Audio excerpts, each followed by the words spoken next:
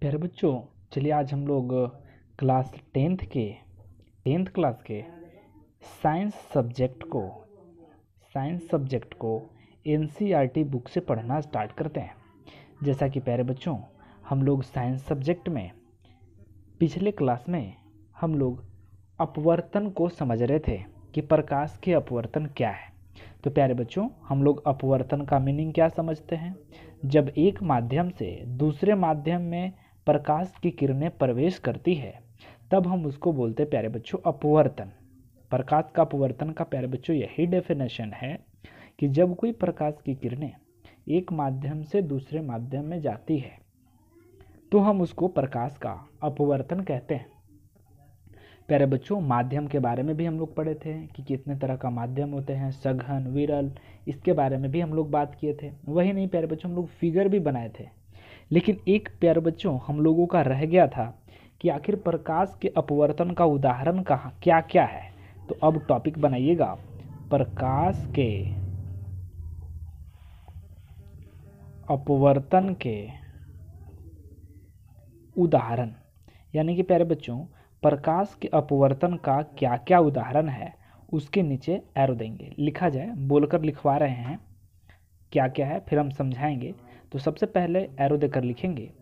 प्रकाश के अपवर्तन के उदाहरण निम्नलिखित है। प्रकाश के अपवर्तन के उदाहरण निम्नलिखित है। पहला पहला उदाहरण, पानी से भरी टैंक की तली, पानी से भरी टैंक की तली ऊपर उठी हुई प्रतीत होती है। ऊपर उठी हुई प्रतीत होती है। प्रतीत का मतलब मालूम पड़ता है। दूसरा लिखेंगे सेकेंड कांच के बर्तन में रखे, कांच के बर्तन में रखे, पानी में रखे, फिर से लिखिएगा, कांच के बर्तन में रखे, पानी में रखे, सीधे छड़ सीधे छड़, टेढ़ी टेढ़ी प्रतीत होती है। टेढ़ी प्रतीत होती है। और तीसरा लिखेंगे। थर्ड एग्ज़ाम्पल हम सभी बात को समझाएँगे। तीसरा लिखेंगे। कटोरे में पानी डालने पर, कटोरे में पानी डालने पर सिक्का अपने वास्तविक स्थिति से सिक्का सिक्का वही जो हम लोग खरीदते हैं, दुकान पे जाकर, टॉफ़ी वगैरह, वही सिक्का अपने वास्तविक स्थिति से ऊपर उठी हुई प्रतीत होती है। ऊपर उठी हुई प्रतीत होती है। प्यारे बच्चों, प्रकाश के अपवर्तन का मतलब समझ गए थे, लेकिन ये नहीं समझे थे कि प्रकाश के अपवर्तन का उदाहरण क्या क्या हो सकता है। प्यारे बच्चों, प्रकाश के अपवर्तन के मुख्यतः तीन उदाहरण है। पहला ये कि अभी कभी आप इन चीज़ों को गौर कीजिएगा एक्सपेरिमेंट कीजिएगा कि जो चापाकल होता है या नल होता है, उसके नीचे बाल्टी रख देना है। बाल्टी रख दिए। अब बाल्टी में आपको पानी भर लेना है, ठीक है? अब जब बाल्टी में पानी भर गया ऊपर तक, अब क्या करना है? नल को बंद करना है और फिर आपको ऊपर से देखना है उस पानी में। तो आपको पता चलेगा कि उसका जो पेंदी है, वो थोड़ा सा ऊपर उठा हुआ जैसा, लगेगा कि ऊपर ऊपर उठा हुआ जैसा प्रतीत होता है, मालूम पड़ता है। लेकिन वास्तव में वो तली ही है, लेकिन तली अपने वास्तविक स्थान से उठा हुआ प्रतीत होता है। आप कभी गौर कीजिएगा, ये एक अच्छा एक्सपेरिमेंट है, इसको आप घर पे भी यूज़ कर सकते हैं। एक बाल्टी में, एक टैंक में पानी को भर दीजिएगा, फिर उसको ऊपर से जाकर देखिएगा। तो पता चलेगा कि तली जो है ना, वो मुड़ा हुआ है ऊपर की तरफ़। जैसे मान लिया मेरा हाथ अभी सीधा है, अब ये जब आप पानी भर देंगे तो ऐसे दिखेगा ऊपर की तरफ़। तली जो है लगेगा कि थोड़ा सा अपने वास्तविक स्थिति से ऐसे ऊपर की ओर मुड़ा हुआ है। यानी कि ऊपर ऐसे ऐसे मुड़ जाता है, ऐसा मालूम पड़ता है। फिर एक और हम लोग एक्सपेरिमेंट कर सकते हैं। करना क्या है? उसी बाल्टी में या एक गिलास में, या फिर बड़ा जग में पानी भर देना है और ऐसा पेन चाहे सीधा छड़ आपको उसमें डालना है, ऐसे। सीधा थोड़ा सा ऐसा रख देना है तो ऑटोमेटिक ऐसे हो जाएगा। क्योंकि अगर चारों तरफ़ से बाल्टी में पानी है तो ऑटोमेटिक छड़ को डालेंगे तो आपको दिखेगा कि मुड़ा हुआ है। हालाँकि, मैंने ऐसा दिखेगा, छड़ तो एकदम सीधा डालेंगे ना आप लेकिन पानी में ऐसा दिखेगा कि छड़ जो है मुड़ जा रहा है। ऐसा आपको दिखाई पड़ेगा। यानी कि इसका दूसरा उदाहरण हुआ कि जब पानी से भरे बाल्टी में या फिर कांच से बने बर्तन में पानी में रखा हुआ जब सीधा वस्तु जैसे छड़, सीधा छड़ या फिर पेन को आप डालते हैं तो वो मुड़ा हुआ प्रतीत होता है। लग रहा है कि, लगेगा कि वो जो सीधा छड़ है ना, वो मुड़ रहा है। और तीसरा सबसे अच्छा बात कि एक कटोरा में लीजिए, कटोरा लीजिए या फिर वही लोटा लीजिए या फिर कोई भी पदार्थ लीजिए जिसमें पानी हम लोग रख सकते हैं, फिर क्या करना है उसमें सिक्का डालना है। और ये आप, तीनों एक्सपेरिमेंट आप करिएगा। तो इसमें क्या करना है? सिक्का डालना है। पानी भर देना है और पानी में एक सिक्का को डालना है। तो पता चलेगा कि सिक्का जो है ऊपर उठा हुआ जैसा मालूम पड़ रहा है। यानी सिक्का जो है ऊपर उठा हुआ जैसा लग रहा है। तो ये जो है प्रकाश के अपवर्तन का, प्यारे बच्चों, उदाहरण हुआ। अब चलिए हम लोग आइए, आगे पढ़ते हैं। प्रकाश के सॉरी प्रकाश के नहीं, सिर्फ़ और सिर्फ़ अपवर्तनांक के बारे में। ये देखिए, अपवर्तन अलग है, प्यारे बच्चों, और अपवर्तनांक अलग है। अपवर्तनांक। ये टॉपिक दीजिएगा, इसको वी कर दीजिएगा। आता है, अपवर्तनांक से आप क्या समझते हैं? तो सबसे पहले अब हम लोग सीखेंगे कि अपवर्तनांक क्या होता है। उसके नीचे फ़र्स्ट एरो देंगे। लिखा जाए अपवर्तनांक के नीचे, फिर हम लोग बातों को समझेंगे कि अपवर्तनांक क्या है। अपवर्तनांक के नीचे एरो देकर लिखेंगे, वायु में प्रकाश की चाल। वायु में प्रकाश की चाल और और माध्यम में प्रकाश के चाल के अनुपात को और माध्यम में प्रकाश के चाल के अनुपात को अपवर्तनांक कहा जाता है। अपवर्तनांक कहा जाता है। चलिए, यानी कि अपवर्तनांक किसको कहते हैं? तो जो बात अभी फ़र्स्ट एरो में डालकर लिखें, उसके नीचे लिख लीजिएगा अपवर्तनांक का फॉर्मूला अपवर्तनांक बराबर अपवर्तनांक बराबर, वायु में प्रकाश के चाल, वायु में प्रकाश की चाल बटा माध्यम में प्रकाश की चाल, ठीक है? अब अपवर्तनांक का फार्मूला क्या है प्यारे बच्चों? तो वायु में प्रकाश की चाल बटा माध्यम में प्रकाश की चाल।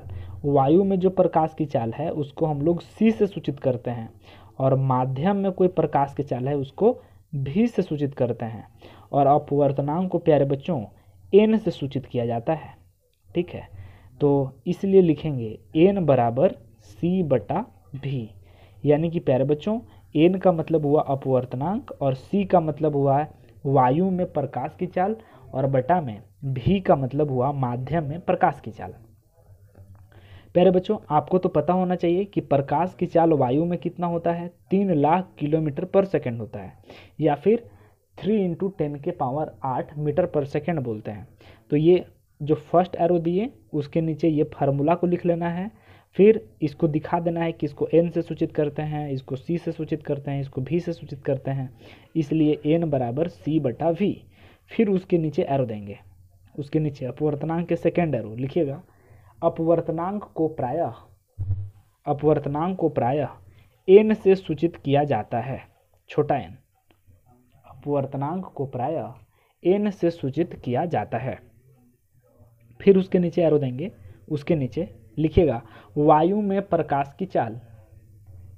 अर्थार्थ वायु में प्रकाश की चाल। अर्थार्थ सी का मान सी का मान थ्री इंटू टेन के पावर एट मीटर पर सेकेंड होता है। क्या लिखेंगे? उसके नेक्स्ट एरो में लिखिएगा, वायु में प्रकाश की चाल अर्थात इसी को सी से सूचित करते हैं तो अर्थात सी का मान थ्री इंटू टेन के पावर एट मीटर पर सेकेंड होता है। चलिए प्यारे बच्चों, अब जला हम लोग अपवर्तनांक को सीखते हैं कि अपवर्तनांक क्या है। बहुत ही सिंपल है। सबसे पहले वायु में प्रकाश की चाल और बट्टा, इसी को बट्टा को बोलते हैं अनुपात। क्या बोलते हैं इसको? अनुपात बोला जाता है। तो वायु में जो प्रकाश की चाल होगी और माध्यम में प्रकाश की चाल जो होगी, उसको अगर डिवाइड किया जाए तो डिवाइड करने से प्यारे बच्चों क्या मिलता है? अपवर्तनांक मिलता है। या फिर यूँ बोले तो वायु में प्रकाश की चाल और माध्यम में प्रकाश के चाल के अनुपात को हम लोग अपवर्तनांक कहते हैं। और अपवर्तनांक को किससे सूचित किया जाता है? एन से। वायु में प्रकाश की चाल कितनी होती है? वायु में प्रकाश की चाल को किससे सूचित करते हैं? सी से। और माध्यम में प्रकाश की चाल को किससे सूचित करते हैं? भी से। प्यारे बच्चों, अब ये आपको समझ में नहीं आ रहा होगा कि सर क्या होता है माध्यम में और प्रकाश की चाल वायु में, ये सब क्या है? तो सबसे पहले आपको समझना चाहिए कि किसको किससे सूचित करते हैं। तो माध्यम में प्रकाश की चाल को वी से सूचित करते हैं, वायु में प्रकाश की चाल को सी से सूचित करते हैं और अपवर्तनांक को एन से सूचित किया जाता है। तो इस तरीके से जो फार्मूला बना एन बराबर सी बटा भी और याद रखिएगा कि वायु में प्रकाश की चाल, वायु में प्रकाश की चाल का मतलब सी का मान कितना होता है? हमेशा फिक्स रखता है, रखना है कि सी का मान यानी कि प्रकाश के चाल का मान कितना होता है? तीन गुने दस के पावर आठ मीटर पर सेकेंड। प्यारे बच्चों, इसको याद कर लेंगे। ठीक है? कि वायु में प्रकाश की चाल कितना होता है? तो तीन गुने दस के पावर आठ मीटर पर सेकेंड। ये किसका मान होता है हमेशा? सी का मान। अब जरा अपवर्तनांक का मतलब समझते हैं कि अपवर्तनांक क्या है। सबसे पहले प्यारे बच्चों, हम लोगों को अपवर्तनांक का मान निकालना है। ठीक है? तो अपवर्तनांक का कम मतलब क्या हुआ? कि सी में जब भी से भाग देंगे, तब ना निकलेगा एन का मान। तो अब हम लोग माध्यम में प्रकाश की चाल को समझते हैं कि माध्यम में प्रकाश की चाल क्या होता है। ये तो ऊपर वाला तो वैल्यू फिक्स होता है। यानी ऊपर जो सी का मान है, ये बिल्कुल फिक्स है। कितना? तो तीन गुने दस के पावर आठ। ठीक है? ऊपर में मान जो है फिक्स है। और नीचे में कितना रखना है मान? तो नीचे में देखिए, माध्यम लिखा हुआ है। और माध्यम कुछ भी हो सकता है, प्यारे बच्चों। यानी कि जो प्रकाश हम लोगों को देना है, उसका माध्यम। आप हो सकता है कि प्रकाश को जल से होकर गुजार रहे हैं। हो सकता है कि आप हीरा से होकर गुजार रहे हैं। हो सकता है कि आप एल्कोहल से होकर गुजार रहे हैं। एल्कोहल मैंने दारू। एल्कोहल हो सकता है कि किरोसिन तेल से होकर गुजार रहे हैं। यानी कि ये माध्यम का मतलब कुछ भी हो सकता है, प्यारे बच्चों। समझ में आ रहा है? तो इस माध्यम का मतलब होता है कि आप जहाँ पे किसी लाइट को गुजार रहे हैं, जैसे मान लिया कि आप शीशा से होकर गुजार रहे हैं, कांच से, ठीक है? तो ऐसा हम एक एग्ज़ाम्पल के तौर पे लेते हैं। एक एग्ज़ाम्पल के तौर पे हम लेते हैं, जैसे कि यहाँ पे एग्ज़ाम्पल है। प्यारे बच्चों, जैसे मान लिया कि एक एक टॉर्च से, एक टॉर्च से हम लाइट को निकालते हैं, ठीक है? एक टॉर्च से लाइट को निकालते हैं, हम लोग जो है जल से इसको पास करा रहे हैं। यानी कि टॉर्च जो जलाए हैं हम लोग यहाँ पे, वो वो टॉर्च का जो रोशनी है, किसको क्रॉस कर रहा है? जल से। और जल में जैसे ही ये रोशनी पहुँचा तो जल में उसका स्पीड हो गया दो मीटर पर सेकेंड। समझ में आ रहा है? जल में कितना स्पीड हो गया? दो मीटर पर सेकेंड। तब अगर कोई बोलेगा कि अब हमें अपवर्तनांक का मान निकालो तब हम अपवर्तनांक का मान कैसे निकालते हैं? ऊपर तो सी बटा भी होता है, यानी कि सी के मान फिक्स सी के मान कितना? तो तीन गुने दस के पावर आठ। लेकिन अब जल में जो रोशनी जा रहा है तो जल में उसका चाल कितना है? दो।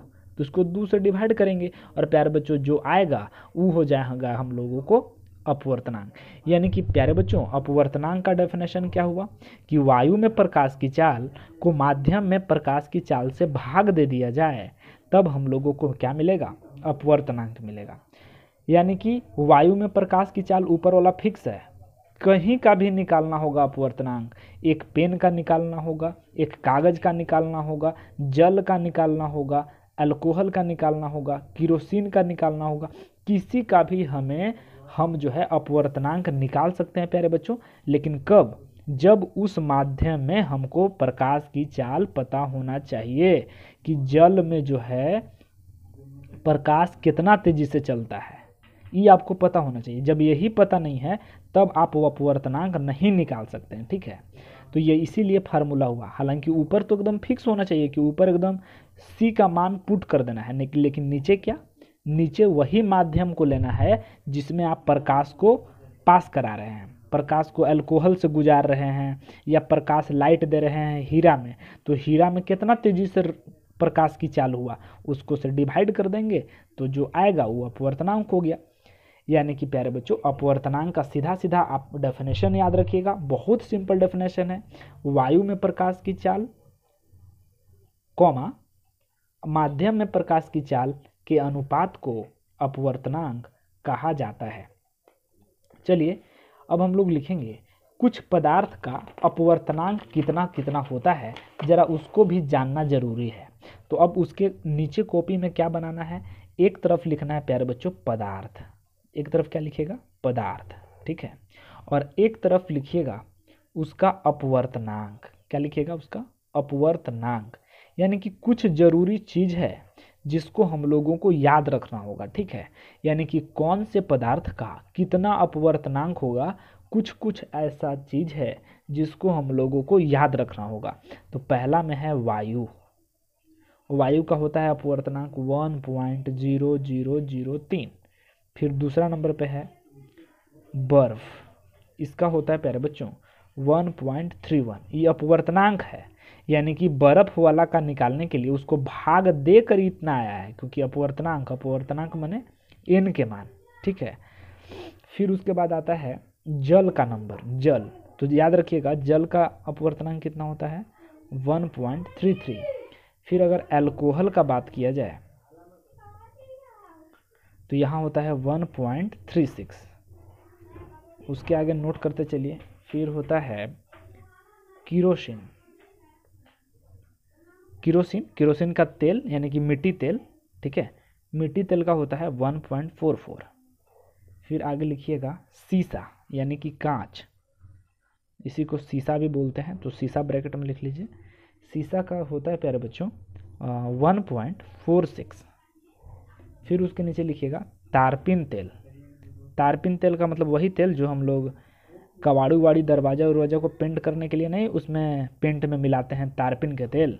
वही तारपिन तेल है, उसका होता है प्यारे बच्चों वन पॉइंट फोर सेवन ठीक है? और फिर आता है बेंजीन। बेंजीन। और प्यारे बच्चों, बेंजीन का फार्मूला होता है सी सिक्स एच सिक्स याद रख लीजिएगा। जैसे जल का कैसे फार्मूला होता है? यहाँ पे एच टू ओ होता है ना? वैसे ही बेंजीन एगो केमिकल है।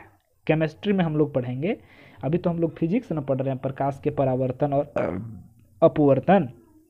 उसी तरह से हम लोग केमिस्ट्री के पार्ट में बेंजीन के बारे में सीखेंगे। तो बेंजीन का फार्मूला क्या होता है प्यारे बच्चों? सी सिक्स एच सिक्स इसका जो होता है वन पॉइंट फाइव ज़ीरो फिर आता है हीरा का नंबर और इसका होता है टू पॉइंट फोर टू। प्यारे बच्चों, ये आप देख पा रहे होंगे, सबका एक टेबल बना लेना है अपने कॉपी में, एक तरफ़ लिखना है पदार्थ और एक है उसका अपवर्तनांक, यानी कि भाग देने पर हमें प्राप्त हुआ है मान, उसी को ना अपवर्तनांक कहते हैं। तो वायु के लिए अपवर्तनांक कितना होता है, बर्फ़ के लिए कितना होता है, जल के लिए कितना होता है, ये कुछ इम्पोर्टेंट है और इसको आपको याद रखना चाहिए। लेकिन ये सब में, प्यारे बच्चों, सबसे इम्पोर्टेंट होता है हीरा। बिल्कुल आप हीरा का अपवर्तनांक याद रखिएगा। हीरा का अपवर्तनांक पूछता है बोर्ड एग्ज़ाम में कि कितना होता है? टू पॉइंट फोर टू याद रखिएगा। और सबसे ज़्यादा भी होता है। अगर सवाल आएगा कि कौन सा ऐसा पदार्थ है कौन सा ऐसा पदार्थ है जिसका सबसे ज़्यादा अपवर्तनांक होता है?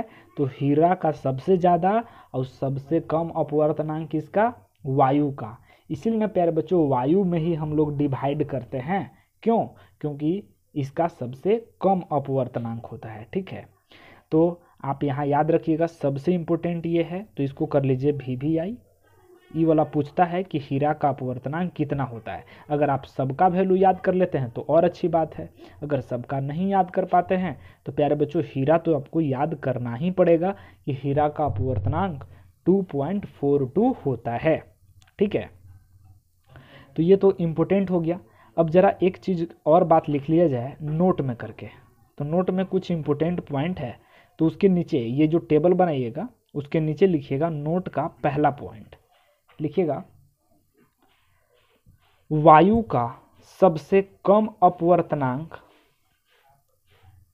वायु का सबसे कम अपवर्तनांक होता है होता है, और नोट का दूसरा पॉइंट में लिखेंगे, हीरा का सबसे अधिक अपवर्तनांक होता है, हीरा का सबसे अधिक अपवर्तनांक होता है। तो प्यारे बच्चों, आपको जो है, नोट में करके क्या लिखे हैं? पहला में कि वायु का सबसे कम होता है अपवर्तनांक। और दूसरा में लिखे हैं हम लोग कि हीरा का सबसे ज़्यादा अपवर्तनांक होता है। तो ये बात आपको याद रखना चाहिए और आप इस टेबल में देख भी रहे होंगे कि सबसे कम है किसका? वायु का। सबसे ज़्यादा किसका है? हीरा का। तो ये हम लोग अपवर्तनांक के बारे में पढ़ रहे थे और अपवर्तनांक के बारे में आपको चीज़ें याद भी रहनी चाहिए।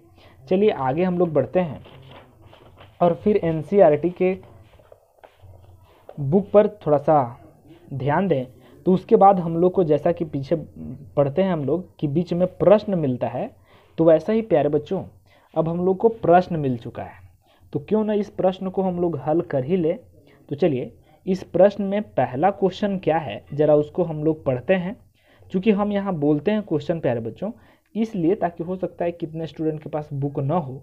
अगर आपके पास बुक है तो आप बुक से क्वेश्चन लिख लीजिए और जब हम उसका आंसर बोले, जब उसका हम समझाएँ तो आप उसको प्लीज़ समझ लीजिए और इसका आंसर में आंसर को अच्छे तरीके से लिख कर आप एक नोट्स को तैयार रखिए। क्योंकि जब हम लोग की लॉकडाउन खुलेगी तो हम लोग आराम से टेस्ट सीरीज़ ही स्टार्ट कर देंगे। ठीक है? तो आप ज़रूर से ज़रूर नोट्स बनाइए और उसको याद कीजिए, उसको पढ़ने का प्रयास कीजिए बारी बारी से। चीज़ों को प्रैक्टिस कीजिए। तो चलिए पहला क्वेश्चन लिखते हैं। वायु में गमन करती प्रकाश की एक किरण। वायु में गमन करती प्रकाश की एक किरण।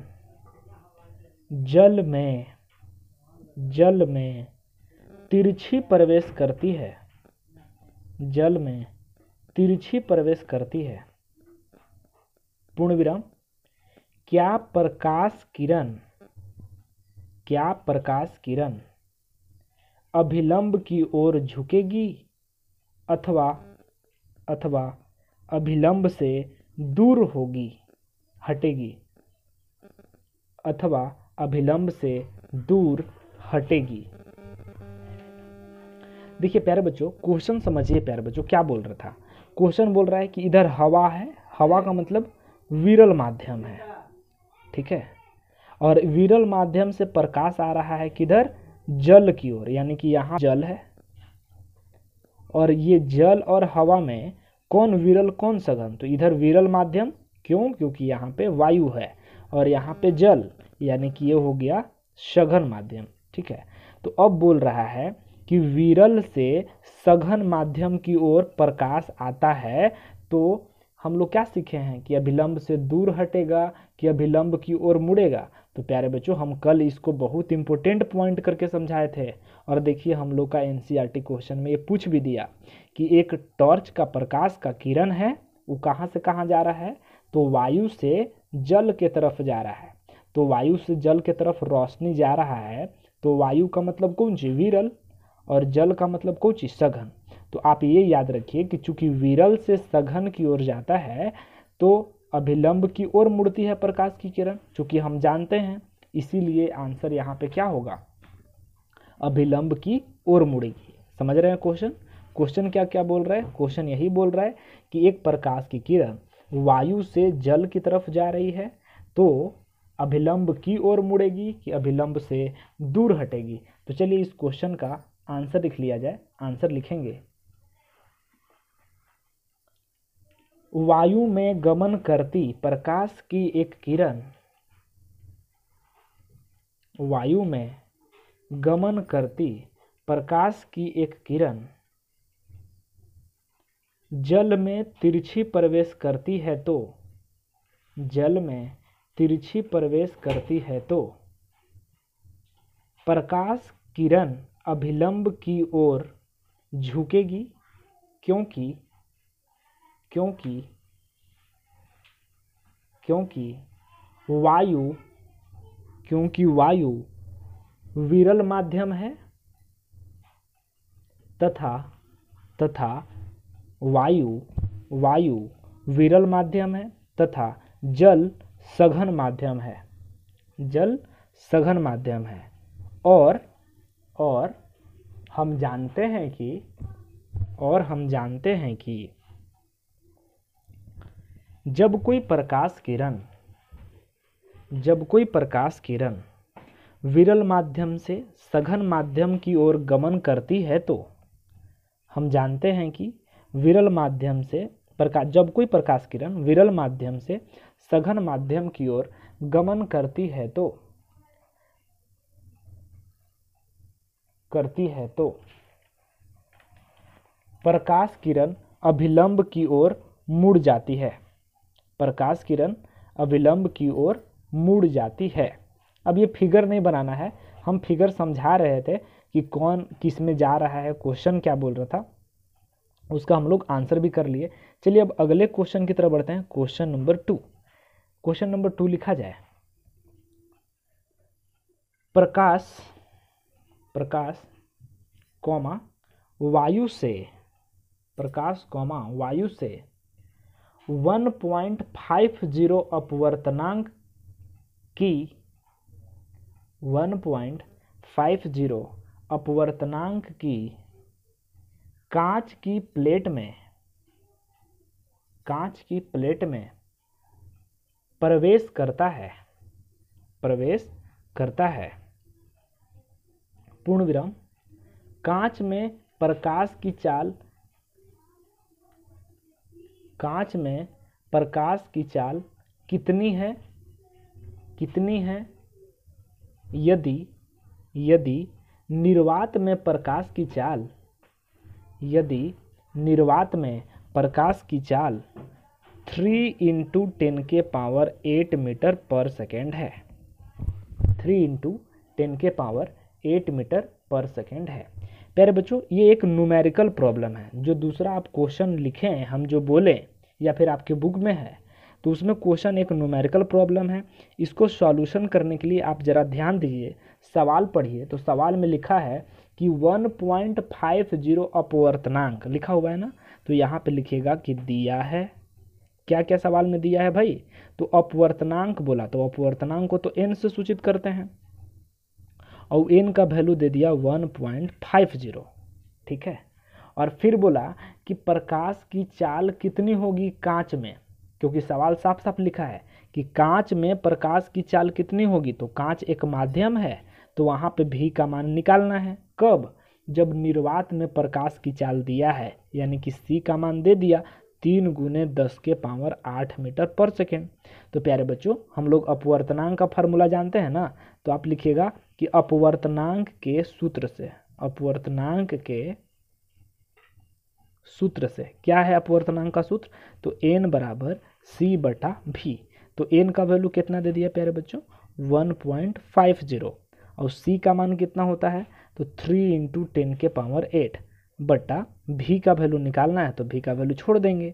अब हम लोग जानते हैं ना कि नीचे वाला भी ऊपर जाएगा तो वन पॉइंट फाइव ज़ीरो नीचे आ जाएगा तो भी बराबर थ्री इंटू टेन के पावर एट बटा में वन पॉइंट फाइव ज़ीरो और इससे ये दो बार में कटेगा, इसलिए प्यारे बच्चों भी का वैल्यू हो जाएगा टू इंटू टेन के power eight metre per second यानी सवाल में कुछ नहीं तो एन का वैल्यू दिया था दूसरा सवाल में भी का वैल्यू निकालना था और सी का वैल्यू तो होता ही है, जैसा कि अभी हम लोग पढ़े बुक से बुक में पढ़े कि सी का वैल्यू यानी कि प्रकाश की चाल होता है तीन गुने दस के पावर आठ मीटर पर सेकेंड। तो इस तरीके से इसका सॉल्यूशन कर लेंगे। चलिए अगले क्वेश्चन की तरफ़ बढ़ते हैं। क्वेश्चन नंबर तीसरा। तीसरा क्वेश्चन लिखा जाए। बोल रहे हैं, सारणी दस पॉइंट तीन से, सारणी दस पॉइंट तीन से। ये क्वेश्चन है, अधिकतम प्रकाशिक घनत्व के माध्यम को ज्ञात कीजिए। सारणी दस पॉइंट तीन से अधिकतम प्रकाशिक घनत्व के माध्यम को ज्ञात कीजिए। पूर्ण विराम, न्यूनतम प्रकाशिक घनत्व के माध्यम को भी ज्ञात कीजिए। पूर्ण विराम, न्यूनतम प्रकाशिक घनत्व के माध्यम को भी ज्ञात कीजिए। चलिए, ये क्वेश्चन पूरा हो गया प्यारे बच्चों। तो तीसरा क्वेश्चन क्या बोल रहा था, जरा इसको समझिए। प्यारे बच्चों, जो हम लोग का एन किताब है, उसमें से अभी हम लोग लिखे ना, एक तरफ़ पदार्थ लिखें, एक तरफ़ अपवर्तनांक लिखें, लिखे ना कि वायु का कितना होता है, जल का कितना होता है, बर्फ़ का कितना होता है, तारपीन तेल का कितना होता है। तो ये जो हम लोग सारणी बनाए हैं, वो आपको एन के दस दशमलव तीन सारणी में मिलेगा। सवाल समझ में आ रहा है? तो वही बोल रहा है कि आप दस पॉइंट तीन वाला सारणी देखिए, ठीक है? और देख कर बताइए कि सबसे अधिकतम प्रकाशिक घनत्व कौन है और सबसे कम प्रकाशिक घनत्व कौन है? ठीक है? तो सबसे अधिक कौन है और सबसे प्रकाशिक घनत्व सबसे ज़्यादा किसका है और सबसे कम किसका है? तो प्रकाशिक घनत्व माध्यम को ज्ञात करना है। देखिए प्रकाशिक घनत्व माध्यम। इसको ज्ञात करना है। तो देखिए, प्रकाशिक घनत्व माध्यम क्या होता है? इसको समझने के लिए आपको थोड़ा सा ये चीज़ समझना पड़ेगा कि अपवर्तनांक तो समझ रहे हैं। अपवर्तनांक में अगर बोला जाएगा कि अपवर्तनांक किसका कम होता है तो अपवर्तनांक जो है वायु का सबसे कम होता है। अभी पढ़ें। चाहे आप एन के दस दशमलव तीन एक्सरसाइज सारणी वाला भी देख सकते हैं। क्योंकि सवाल खुद बोल रहा है कि दस पॉइंट तीन सारणी आप देखिए और वहाँ से देख करके, और आप बताइए कि किसका प्रकाशिक घनत्व माध्यम सबसे ज़्यादा है और किसका सबसे कम है? तो हम लोग जानते हैं ना कि जो टेबल है, उसमें सबसे ज़्यादा किसका है? तो सबसे ज़्यादा जो है, वो हीरा का है। और सबसे कम किसका है? वायु का है। तो इसका लिख देंगे। आंसर में कि हीरे का अपवर्तनांक सबसे ज़्यादा है तथा वायु का अपवर्तनांक सबसे कम है। या फिर ये लिख सकते हैं कि प्रकाशिक घनत्व सबसे ज़्यादा है हीरा का, या फिर प्रकाशिक घनत्व सबसे कम है वायु का।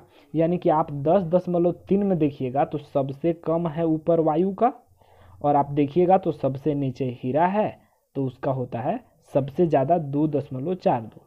तो इसका आंसर लिखेंगे कि हीरे का अपवर्तनांक सबसे ज़्यादा अर्थार्थ दो दशमलव चार दो है, जबकि जबकि वायु का अपवर्तनांक सबसे कम अर्थार्थ one point zero zero three है। वायु का कितना होता है? तो one point zero zero three. तो इस तरीके से प्यारे बच्चों, हम लोगों का तीसरा क्वेश्चन कंप्लीट हो गया। ये चूँकि सारणी को देख कर बताना था कि किसका ज़्यादा है, किसका कम है। चलिए आइए अगले क्वेश्चन की तरफ़ बढ़ते हैं। क्वेश्चन नंबर चार। क्वेश्चन नंबर चार, पहले क्वेश्चन लिख लीजिए। क्वेश्चन क्या बोल रहे हैं? आपको आपको किरोसिन किरोसिन, कॉमा कॉमा तारपिन का तेल तारपिन का तेल तथा तथा जल दिया गया है। जल दिया गया है।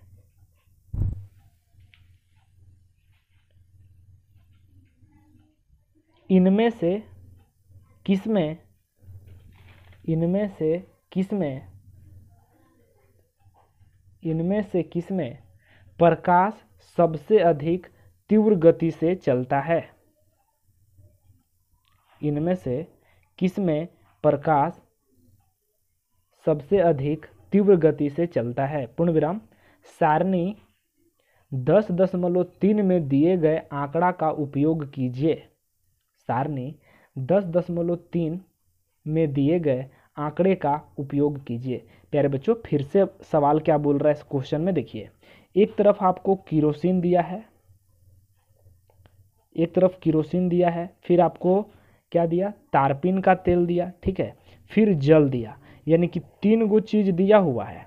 और ये सारणी कितना में दिया? दस पॉइंट तीन में दिया। अब ये तीनों का आंकड़ा को देखकर आपको ये बताना है कि किसका, किसमें प्रकाश की चाल सबसे ज़्यादा होगा। देखिए, प्रकाश की चाल किसमें सबसे ज़्यादा होगा? सबसे तीव्र सबसे तीव्र का मतलब सबसे ज़्यादा, ठीक है? तो प्रकाश की चाल सबसे तीव्र किसमें होगा? तो इसका उत्तर लिखने के लिए आप ऐसे लिखिएगा कि सारणी सारणी दस दशमलव तीन से, आप सारणी दस दशमलव तीन से सबका आंकड़ा तैयार कर लीजिए। सबसे पहले कीरोसिन का लिख लीजिए। कीरोसिन कीरोसिन यहाँ ऊपर लिख दीजिएगा यहाँ पदार्थ और यहाँ पे अपवर्तनांक, ठीक है? तो कीरोसिन का कितना बताए थे? तो कीरोसिन का पता था हम लोग का one point four four, one point four four. फिर किसका बोल रहा था सवाल? तारपिन का। तो दूसरा आप टेबल बना लीजिएगा। आंसर जब लिखिएगा तो यही लिखिएगा कि सारणी दस दशमलव तीन से, और उसके नीचे टेबल बना दीजिएगा। एक तरफ़ सारणी बना दीजिएगा पदार्थ का, अपवर्तनांक का। इसमें पूरा का नहीं बनाना है, उसी का बनाना है जिसमें सवाल बोल रहा था।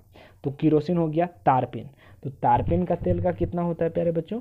तो वन पॉइंट फोर सेवन फिर आता है जल का तो जल भी दिया है तो जल का देख रहे हैं वन पॉइंट कितना होता है? Three three one point three three यहाँ पे देख पा रहे होंगे कि जल का अपवर्तनांक क्या है?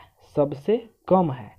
तो जल का अपवर्तनांक जब सबसे कम है तो जहाँ पे जिसका अपवर्तनांक कम होता है, उसी में प्रकाश की चाल सबसे अधिक होती है। तो ये बात आप नोट करके यहाँ पे भी आप लिख सकते हैं कि चूँकि जिस पदार्थ का अपवर्तनांक सबसे कम होता है, सबसे कम हो उसी पदार्थ का, उसी पदार्थ का प्रकाश की चाल तीव्र होती है। प्रकाश की चाल तीव्र होती है।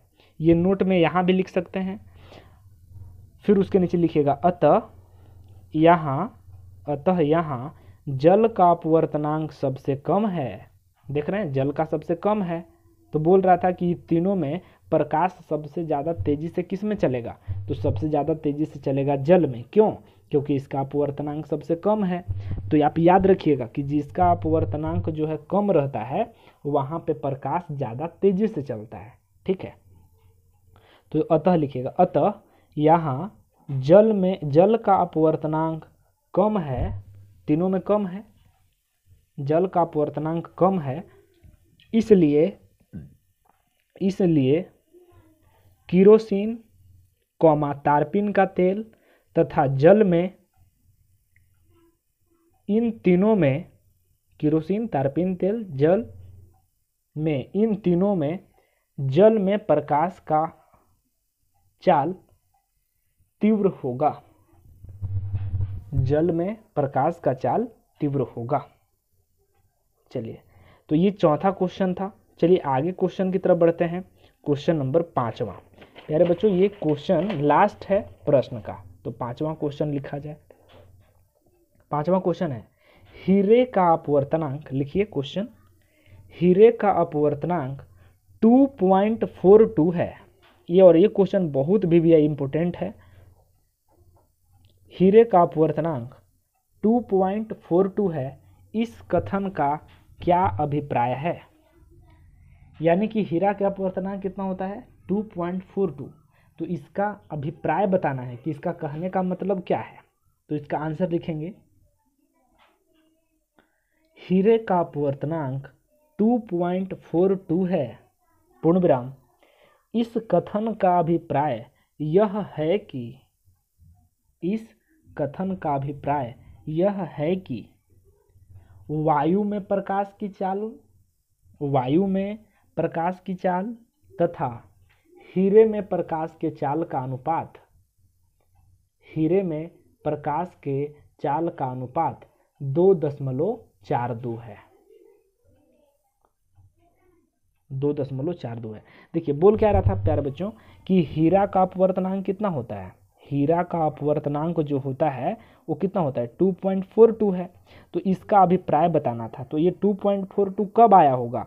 जब ऊपर सी रहा होगा और नीचे हीरा वाला माध्यम रहा होगा, क्योंकि हीरा का अपवर्तनांक निकाल रहे हैं तो जिसका अपवर्तनांक निकालते हैं, उसी से ना भाग देते हैं, क्योंकि एन का फार्मूला क्या होता है? सी बटा वी तो बोला जा रहा था कि हीरा के अपवर्तनांक 2.42 है।